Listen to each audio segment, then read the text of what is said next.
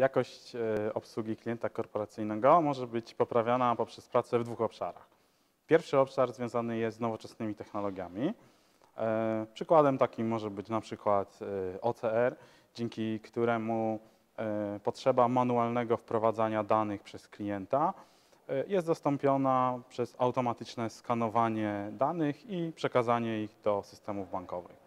E, Drugim przykładem jest na przykład bezpapierowa obsługa, dzięki e, czemu klient z jednej strony otrzymuje wygodę dokumentów elektronicznych, a z drugiej strony bank ogranicza koszty e, operacyjne. Trzecim przykładem nowoczesnych technologii jest automatyzacja procesów, dzięki którym po prostu obsługa klienta staje się szybsza. Drugim takim obszarem, który, który trzeba wyróżnić, jest sama strategia obsługi i e, potrzeba e, dania doradcy elastyczności właśnie w e, obsłudze takiego klienta korporacyjnego.